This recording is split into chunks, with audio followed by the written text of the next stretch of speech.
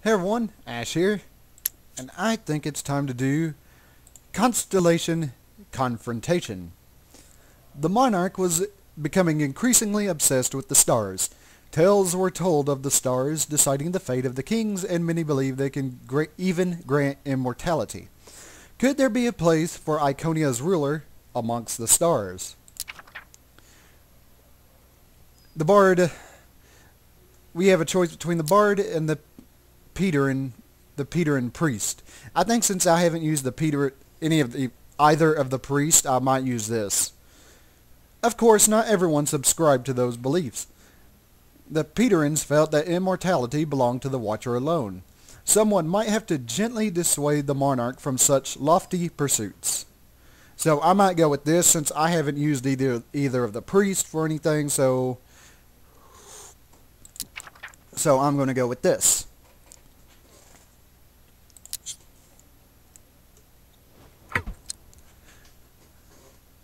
Let's see what we got.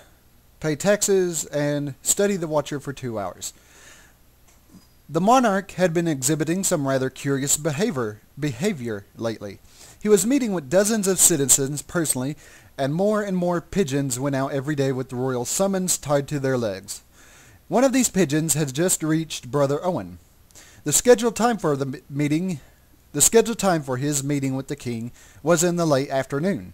It seems that His Majesty would be coming to our church to meet me, he noted.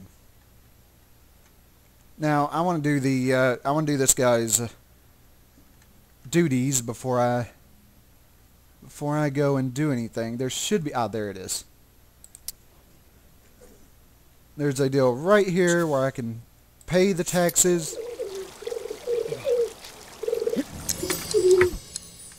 Pay the taxes, and now he wants to study the Watcher for two hours.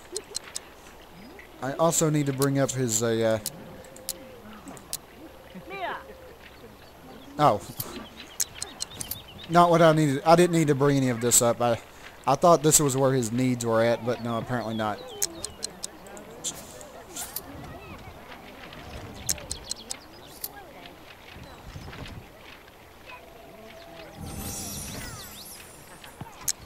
Alright, now what's my deal? Wait until 4 p.m. So basically all I need to do is just let this guy just let this guy do whatever he wants to till 4 p.m.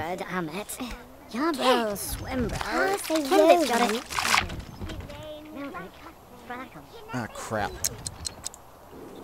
Uh-huh. Hmm? Uh-huh. The monarch should be at the church soon. I should prepare for his arrival.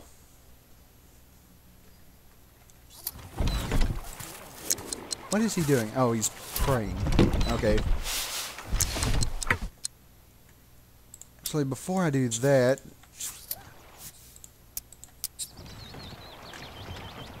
Alright, the, the time has come. I should speak with the monarch. Well, of course, first you need to eat.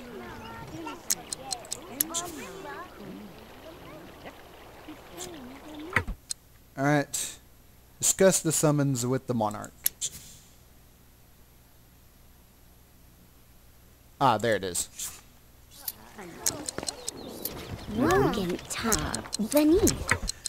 Disturbing what our monarch disturbing what our monarch wishes.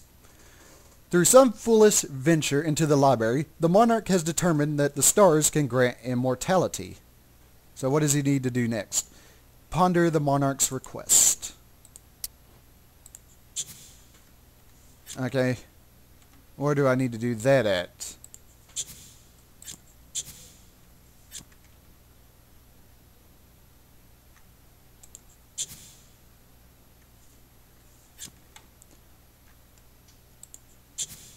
No, not there.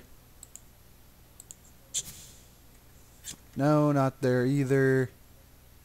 Hmm.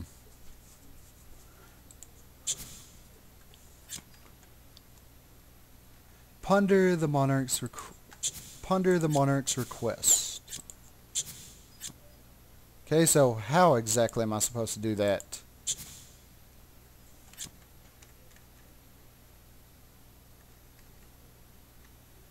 it's going to be one of those it's going to be one of those uh, things that are really simple and yet I have no clue how to do it.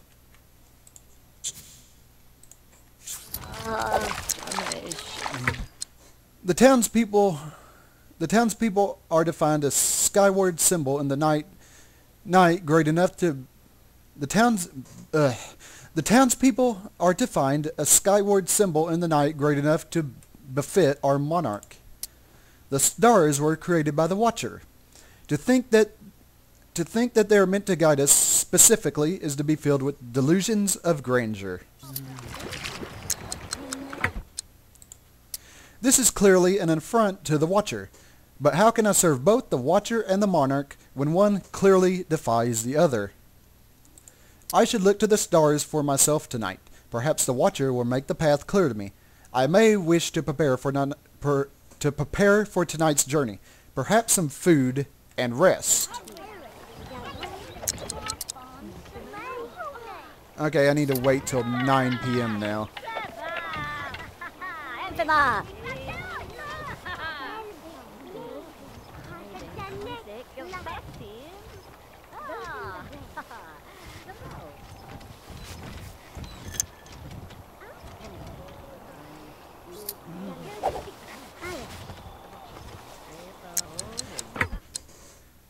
Now should be a good time to move out into the night and view the stars. Okay, walk to the courtyard. Ah, it's nice to see others enjoying the night sky by my monastery, even if it's at the behest of a blasphemous monarch. I wonder, I wonder what they think about his request. So I need to go in here and ask two people about this. Of course, yeah, of course they have the tendency to walk off. Isn't this great? I wonder if the monarch will reward the one who will find his star. Simpleton. Okay, what about one of these guys? I bet the monarch will give a mountain of gold to the one who finds the right star. Ah, how depressing. Though I suppose they can't be blamed for how the Watcher has made them. I should walk somewhere more secluded where I can think.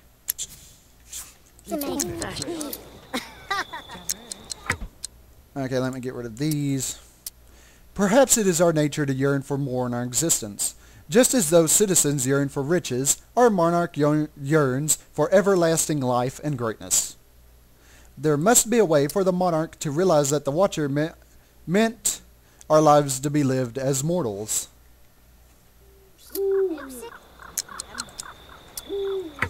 If I go to the monarch claiming that immortality isn't what the Watcher intended, I know it will be brushed aside as religious fervor. I wish I could muster some proof to support this belief. But then it wouldn't really be belief, would it?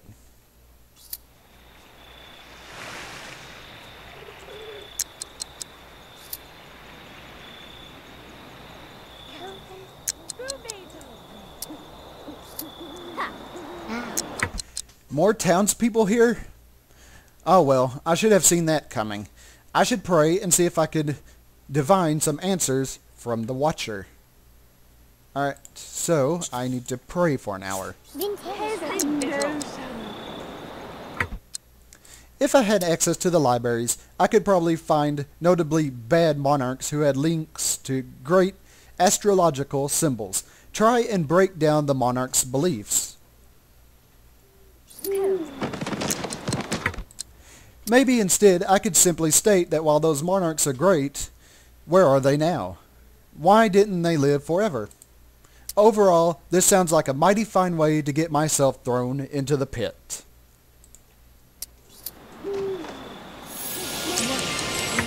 Alright. Now if I'm not mistaken, I need to, yep, continue praying. I should head to the town square now. It would seem the ocean is doing the opposite of calming me.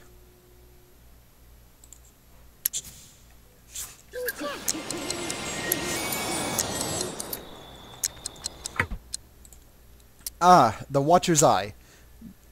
Ah, the Watcher's Eye should be rising over the castle right about now. It has always been my favorite astrological sign. Even in the darkest of nights, the eye has always shown me the light of guidance.